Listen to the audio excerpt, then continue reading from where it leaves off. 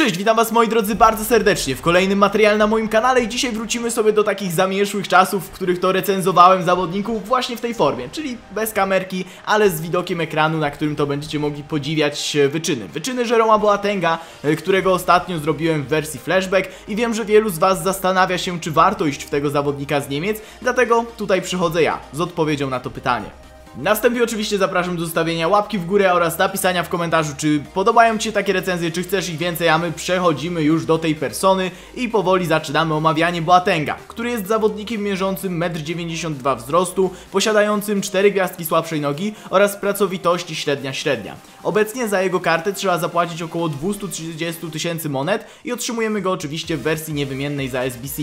Patrząc na statystyki, najbardziej w oczy kuje przyspieszenie, ocenione na 73, dlatego szczerze powiem, że nie wyobrażam sobie, aby ktoś grał nim na innym stylu gry niż cień, dlatego też cały ten dzisiejszy test również będzie z perspektywy właśnie tego stylu gry. No dobra, ale przejdźmy do konkretów. Na początku trzeba powiedzieć, że Jerome Boateng jest po prostu wielki w samym meczu. Ma bardzo rozbudowaną sylwetkę i siłę ocenioną na 97, co sprawia, że w samej grze nie da się z nim wygrać pojedynku czysto fizycznego, co udowadniał nawet w walce z Cristiano Ronaldo w wersji Toty. Wszystkie jego statystyki defensywne to absolutna czołówka. Sprawia to, że gdy Boateng ma szansę na przejęcie piłki, to po prostu to robi, a futbolówka zostaje albo przy jego nodze, albo leci bezpośrednio do partnera. Ważnym aspektem jest również to, że mimo średniej pracowitości w obronie, zawsze wracał się do defensywy i odbudowywał ustawienie. Także jeśli boicie się brać te karty ze względu na jego workrate'y, to nie są one tutaj żadnym mankamentem.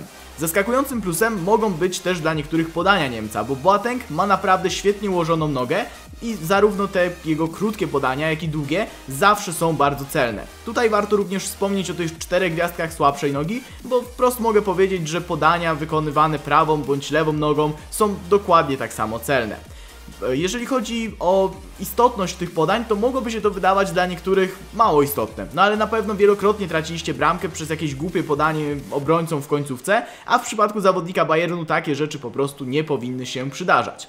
Czy jednak Bawarczyk jest obrońcą kompletnym? No, moim zdaniem niestety nie. Bardzo cieszyłem się na tę kartę, nie tylko dlatego, że prywatnie sympatyzuję z Bayernem, ale także dlatego, że 75 oceny zwinności oraz 70 oceny balansu wydawało mi się naprawdę bardzo dobrą wartością jak na warunki defensywne. W końcu nawet Maldini na swojej karcie Prime ma gorzej ocenione te statystyki.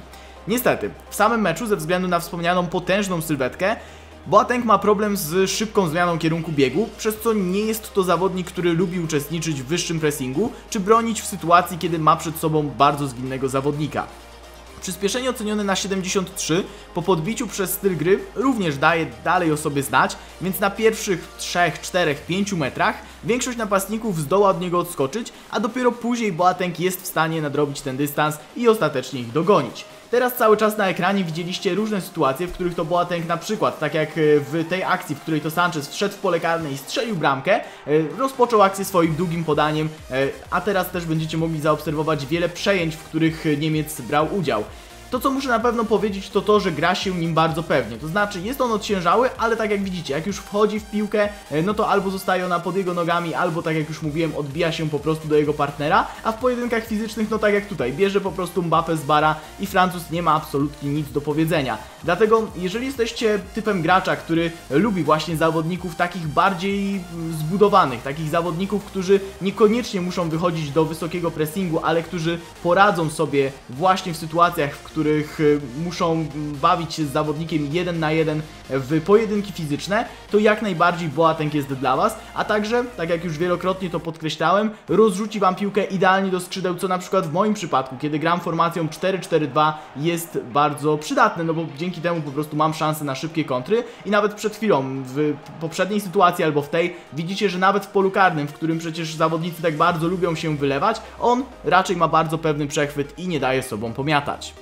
Czas na podsumowanie i tutaj musimy zacząć od tego, że cena 250 tysięcy, którą trzeba zapłacić za tę kartę jest moim zdaniem bardzo, ale to bardzo dobrze dopasowana. Bo nie jest to jakaś przecena, w wyniku której dostajemy, nie wiem, najlepszego środkowego obrońcę w grze tak małym kosztem, ale z drugiej strony Boateng na pewno jest graczem solidnym i potrafiącym zagrać na wysokim poziomie, który może być wzmocnieniem praktycznie do każdego składu.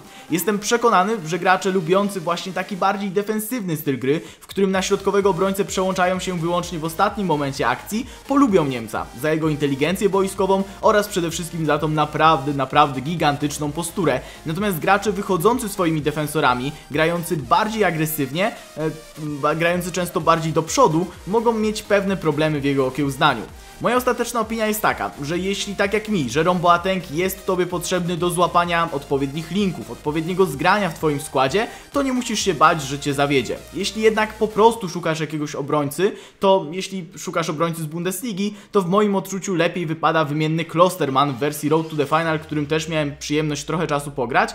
E, choć za gracza Lipska oczywiście musimy zapłacić dwukrotność tego co za Boatenga, no i w tym przypadku nie możemy na przykład przetopić swoich kart niewymiennych. Natomiast inną ciekawą opcją opcją i moim zdaniem znacznie lepszą jest zrobienie Cannavaro Prime za około 700 tysięcy. Tutaj ta opcja znowu też ma pewien mankament, no bo jest znacznie droższa, ale w moim odczuciu na pewno Włoch Was nie zawiedzie i on może jest trochę innym typem zawodnika, to znaczy on właśnie nie jest duży, nie jest rozbudowany, to jest taki mały filigranowy zawodnik, ale jest szybszy w samej grze, jest zwinniejszy, no i ja osobiście gram jego wersją Baby, natomiast te statystyki się bardzo nie różnią, a powiem Wam szczerze, że od samego początku bardzo, ale to bardzo sobie go chwalę. Ja jednak muszę oczywiście powiedzieć, że cieszę się, że Jerome Boateng dołączył do mojej drużyny, a jego poczynania będziecie mogli oczywiście oglądać na streamach, na odcinkach.